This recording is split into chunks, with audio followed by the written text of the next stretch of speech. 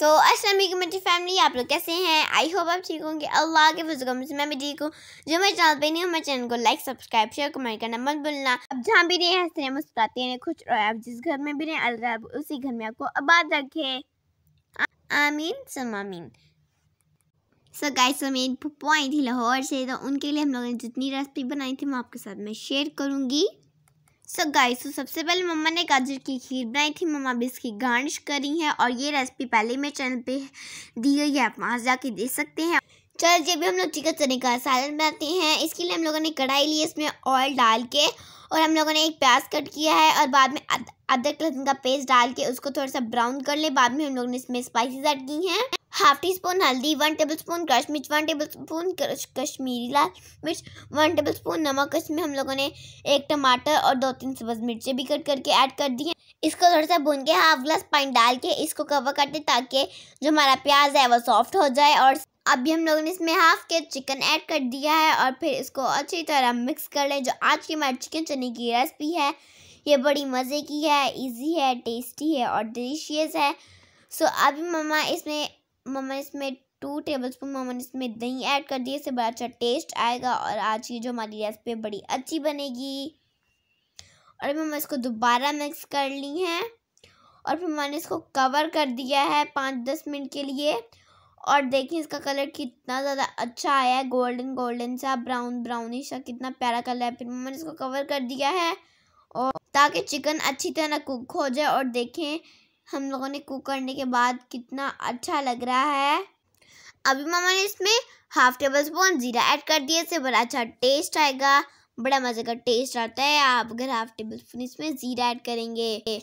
अभी मम्मा ने इसमें एक प्याली बॉयल किए हुए चने ऐड कर दिए हैं और फिर इसको अच्छी तरह भून लें। इससे बड़ा चने से ना बड़ा मज़े का टेस्ट है। मुझे चने बहुत पसंद है। चने वाला चावल तो और चने वाला सालन तो इनका तो अलग ही मज़ा आता है देसी देसी वाला। अभी मम्मा ने इसमें डेढ़ ग्लास पानी का ऐड कर दिया है, फिर इसको हम लोगों ने दस पंद्रह मिनट के लिए कवर कर देना है।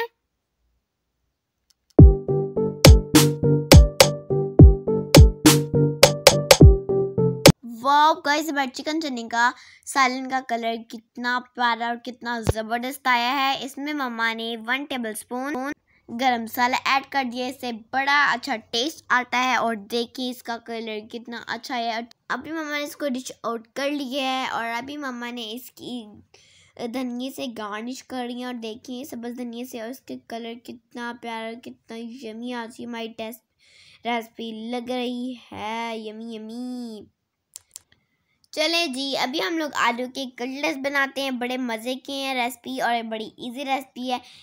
इसके लिए मम्मा ने हाफ़ के जी बॉल आलू लिए हैं। इसको मम्मा ने मैश कर लिया है। अब मम्मा इसमें सब्ज़ धनिया, सब्ज़ लहसुन और एक प्याज कट करके डाल दिए। मम्मा ने अब इसमें स्पाइसेस ऐड करती हैं। हाफ़ टी स्पून साबुत ज़ीरा हाफ़ टी स्पून काली मिर्च half teaspoon garam masala. One tablespoon इसमें क्रश मिर्च वन टेबल स्पून नमक वन टेबल स्पून काली सूखा धनिया इसमें ऐड कर दिया है।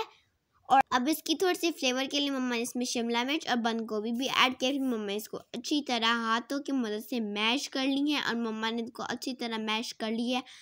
अभी मम्मा इनको सर्कल शेप दे रही हैं। आप चाहे कोई भी शेप दे सकते हैं, आप ज़रूरी नहीं कि आप सर्कल ही दें। और मम्मा ने अभी इस तरह तमाम एक प्लेट में सर्कल शेप करके रख लेती हैं और आपने भी इस तरह करके रख लेना है। बड़े मज़े के कटलेट्स है आपने ज़रूरी जितनी भी रेसिपी है आपने ज़रूर घर में ट्राई करनी है, फिर कमेंट बॉक्स में ज़रूर बताना है और अभी देखिए मम्मा ने तमाम कटलेट्स अभी रेडी कर लिया है। एक बाउल में मम्मा ने फाइव टेबल स्पून बेसन लिया है। थोड़ा सा ज़ीरा powder half teaspoon crush मिर्च हाफ़ टी स्पून नमक हाफ़ टी स्पून काली मिर्च इसमें ऐड कर दिया और फिर इसको अच्छी तरह मिक्स कर लिया था मम्मा ने और अब एक फिर मम्मा ने जिसमें ऑयल कढ़ाई में ऑयल डाला है और फिर मम्मा ने एक एक करके ये आलू के कटलस को उसमें रख दिया। आपने ध्यान से रखना है आपने ऊपर तेल नहीं गिरा लेना तो मम्मा ने फिर करके एक साइड जब आपको लगे कि ये फ्राई हो चुका है तो आपने फिर इसकी साइड चेंज कर देनी है और फिर आपने इसकी दूसरी साइड से पकने देना है और इसका कलर देखें कितना ज़्यादा ब्राउन सा आया है। कि अभी मम, ये सारे हो चुके हैं फ्राई और मम्मा फिर दोबारा इनको फ्राई कर लेती हैं जो जो बच गए हैं पीछे। और देखें फिर मम्मा ने इसमें डिप किया, फिर फ्राई किया। और इसी तरह बारी बारी करके मम्मा ने सारे कटलेस कर चुके, कर लिए फ्राई और जो पीछे इसके करंजी करंजी से रह चुके थे मम्मा ने, वो भी निकाली। मुझे पकौड़ियाँ सी ना बड़ी ना क्रिस्पी क्रंची सी होती ये पकौड़ियाँ सी मुझे बड़ी पसंद है, मैं बहुत शौक से खाती सो गाइस सो हमारे मज़ेदार से कटलेस हो चुके हैं, रेडी सो अभी मामा इन सारे पोटैटो कटलेस को कर लेती हैं। डिश आउट मामा ने प्लेट में इन सारे पोटैटो कटलेस को कर ली है। डिश आउट और ये हम हम लोगों ने मेहमानों को सारा खाना सर्व कर दिया है। ये है मिठाई फ्रूट्स ये गोला का बीफ कोफ्ता स्टिक कबाब इसकी रेसिपी मेरे चैनल पे जा चुकी है और ज़ीरे वाल चावल, आप वहाँ से जाके बीफ कोफ्ता स्टिक कबाब की रेसिपी दे सकते हैं। ये हमारे ये सालन, वो सैलड रायता, ये आलू की कटलस और ये अभी मेहमान सारा खाना खाते हैं।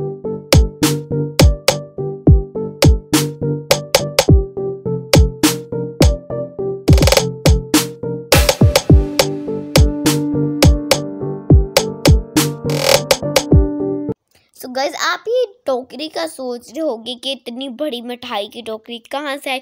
मेरे पापा के दोस्त के दस साल बाद एक बेटा पैदा हुआ है सो उन लोग के घर से हमारे लिए मिठाई आई है। हम लोग इतनी तो मिठाई खाते नहीं थे तो हम लोगों ने कुछ हम लोगों ने खुद ले ली और कुछ हम लोगों ने अपने हमसायों को दे दी। हम अल्लाह ताला उनके बेटे की लंबी ज़िंदगी करे और उनको नेक बनाए। आमीन और सम आमीन। मेरी दुआ है, जो बे औलाद है। अल्लाह ताला उन सबको नेक औलाद अता फरमाए, आमीन और सुमामीन सो फ्रेंड्स तो आज का हमारा खाना बड़ा मज़े का था। सारे मेहमानों ने खूब इंजॉय किया। सो गाइस बताएँ कि आपको मेरी आज की रेसिपी कैसी लगी? मैं जल्द हाजिर होंगी नेक्स्ट वीडियो के साथ। अल्लाह हाफिज़। Bye bye tata. See you